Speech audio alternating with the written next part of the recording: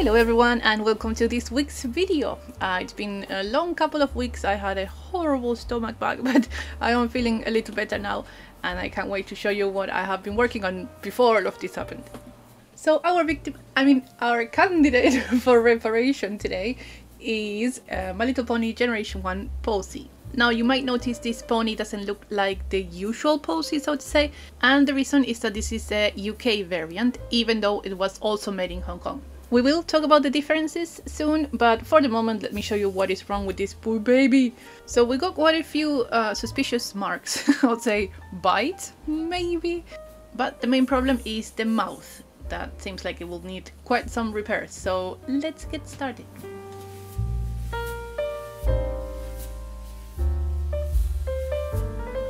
Alright, so the first step, as usual, will be to remove the head. And something I hadn't realized before is that actually this head was glued. So we're looking at a fairly original pony, potentially, or maybe a re-glued one. so it seems I will have to use some acetone. And this is something I haven't done in a while, I think, in the channel, using acetone to open a pony's head. If you remember the Night Glider, that didn't go too well, but hopefully I have learned my lesson. And today I'm not going to use an X-Acto knife, to remove the head, I'm going to use a brush, a delicate brush. now, because I have been using acetone for so long and for so many things, I got curious about what is this substance and I found one very interesting fact that I will share with you as we complete this process and it is the following. Did you know you can actually produce acetone with your body? Not recommending this for pony repairs by the way, but if you don't eat enough carbohydrates then your body will start breaking down fat reserves and that makes ketones and acetone is a type of ketone. Um, I don't know if you have heard of the keto diet, that's where the word comes from. So there you go. Now we know something else about acetone. I'll keep researching and share more with you in the future. Alright, now that we have opened the body, it's time to remove all the hair because we will want to replace it with something new. And um, as I mentioned, this is a UK variant, which means that doesn't look like your um, American pony, I would say. They're all made in Hong Kong, but for the American market it was made a certain way, and for the rest of Europe. And the UK one looks different. The standard version has a yellow body and pink hair, as well as pink flowers can see the picture right here.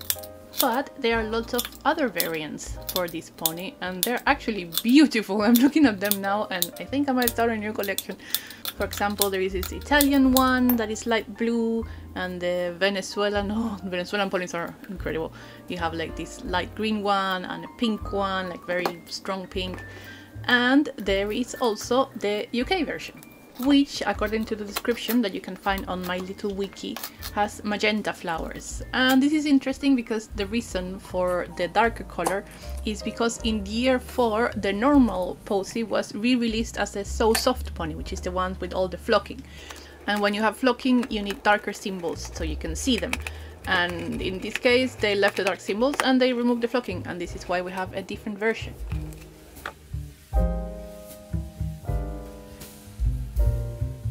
I know you like the washing sounds, so I'll sit in the corner for this bit.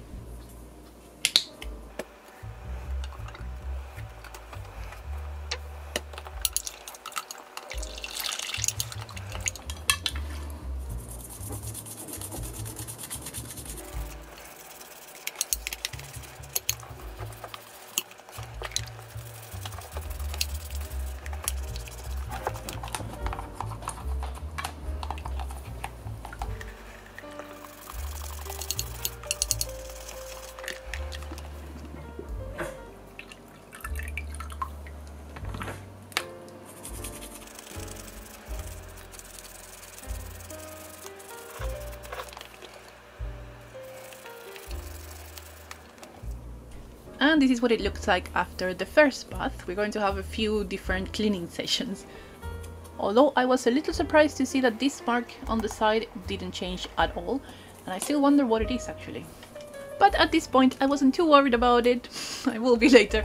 So I decided to use some acetone and see if that can get rid of it.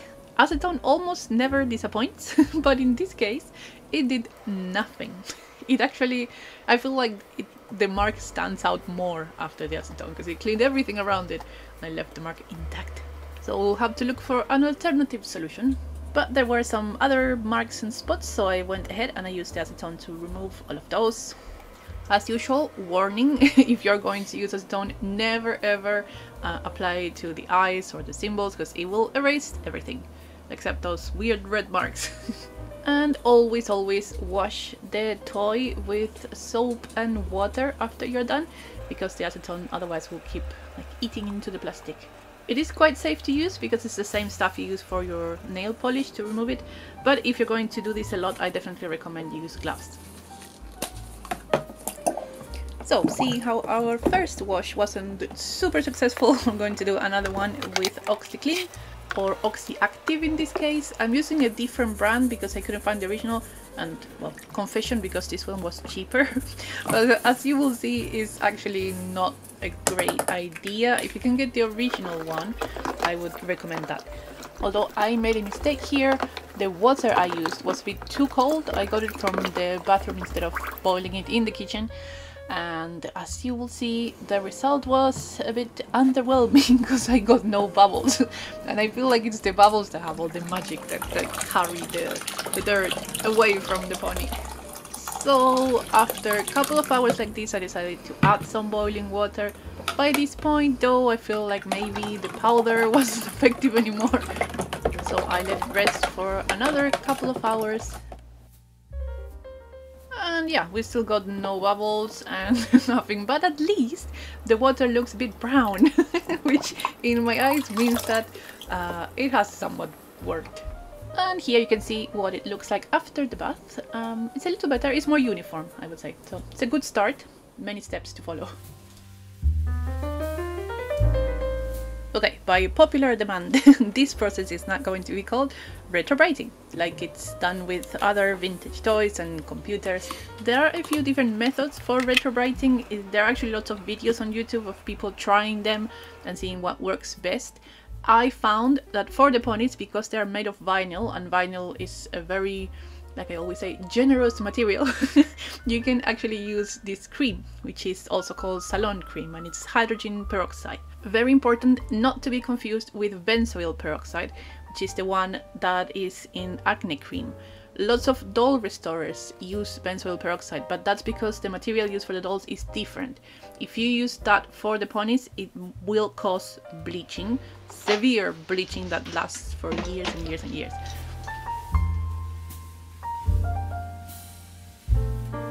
Alright, as you can see, the red mark is still there. so we're going to sandpaper and file it down. I don't normally do this because I don't want to harm the plastic, like destroy anything in the original pony. However, in this case, I'm hoping it will be just a superficial mark and uh, some subtle sandpapering will get rid of it. So let's see.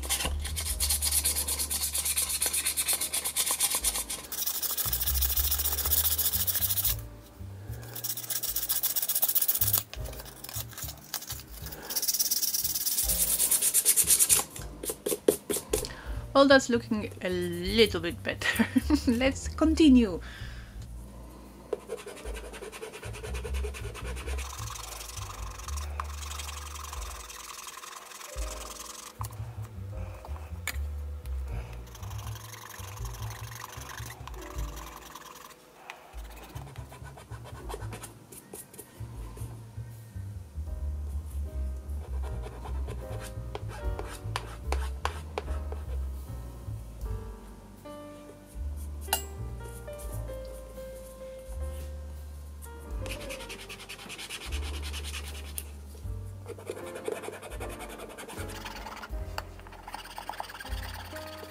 Okay, and this is the result.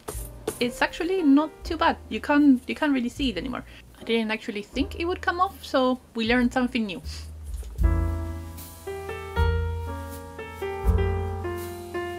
Alright, so before we move on to sculpting, we're going to do a very quick last pass with acetone. I don't know if you can see them, but there are still marks, and I know, because this happened with other ponies, this can be removed with acetone, but you need to apply some pressure to it. I think if we had had bubbles for the OxiClean, this wouldn't have been a problem. However, mistakes were made. but here, I think you can kind of see that, yeah, it does work. There is still a thin layer of something. And since we're going to add some repairs using Milliput in the next section, I want this to be very, very clean. While we do this, I will tell you a little something about Posey, this pony. If you have seen the special called My Little Pony Make Your Mark, which is a Generation 5 special, um, you might have noticed actually that Posey appears in it. If you haven't, look for a pony that has very, very fuchsia hair. Also, Posey was the inspiration for Fluttershy, according to Lauren Faust. Okay, a little note for this next section, and then I will leave you with some music. I tend to use Milliput epoxy putty to fill in holes and do repairs and add things to ponies. And what I normally do is use it white as it comes and then paint on top of it. However, the results haven't been stellar so far and I wanted to try something I had tried before without success. and that is mixing the acrylic paint with the Milliput before I sculpt. So this is what I'm going to do now and I think in order for this to work you need quite good paints, you need good pigments. The last time I tried this I was using those neon acrylic paints that are super cheap and bad quality and it I think what happened, if I remember correctly, is that the pigment ended up on my gloves and the milliput was white by the end of this process. But this time I'm using my dear Vallejo paints and Citadel paints, which are used for minis, for Warhammer minis, and the result, luckily, was what I was kind of hoping for. The color is not a perfect match, uh, this is the first time I do this, so I wasn't like too hopeful to get a perfect match, but I think it's close enough that when we paint, it's not going to be as noticeable. So anyway, I'm kind of happy about this development and I want to keep um, trying it and learning more about it. So now I will leave you with a little bit of music and I will see you in the next section or the other one.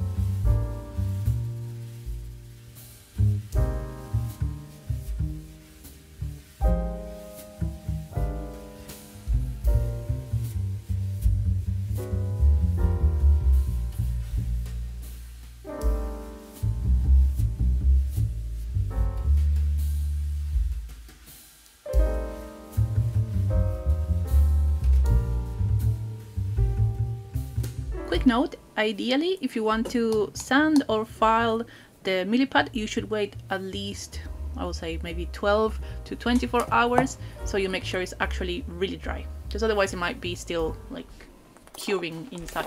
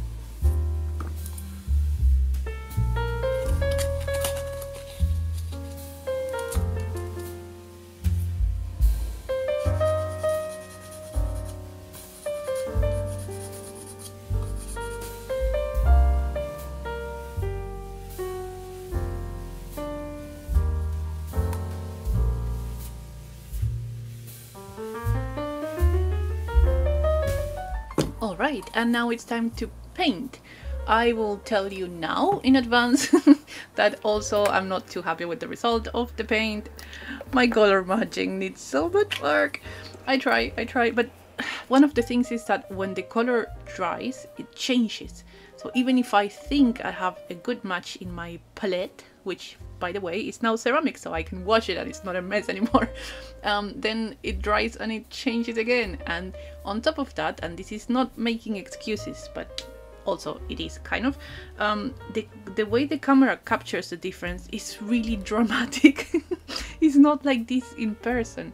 Um, but yeah I understand if you don't believe me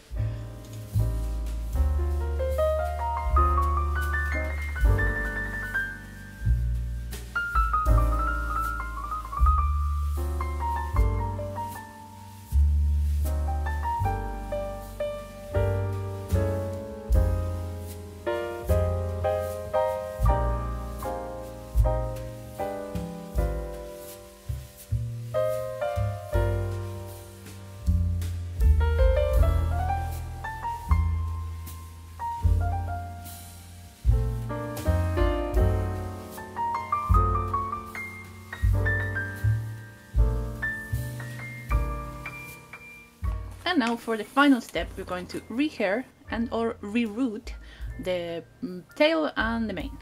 I'm using this white uh, hair, nylon hair, and it's a bit thinner than what I normally use, well, like for the other colors. So I'm not sure what it would look like. Um, we will see soon, but I will show you a bit of the process. Um, I always try to record this in a way that so, so you can see like how I uh, grab the hair and how I wrap it around the finger and and, and then get it with the needle. Um, I don't think it was super successful, but hopefully you understand. If not, you can ask me any questions and I will try to help.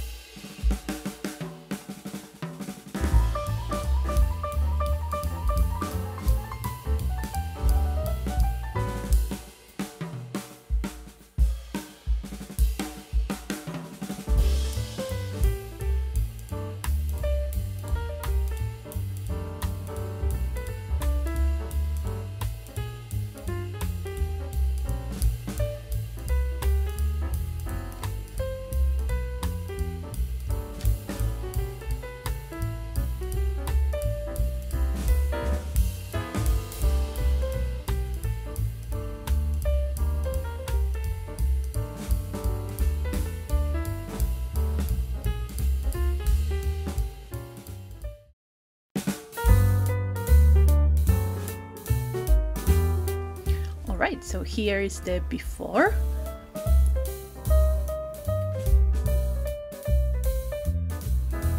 And after some work and lots of color matching, successful or not, here is the result. I did the very simple styling that is wrapping the hair around the neck and around the leg, but I think I left it for too many days because this is when I wasn't feeling too well, so in the end it doesn't have much volume. also, like I said, this hair is a bit thinner than my usual hair, but excuses, excuses. I hope you still enjoyed the video and I had a lot of fun working on this pony. I learned some new things, so I'm very happy Thank you again for your support and I'll see you in the next one. Have a great week. Bye bye.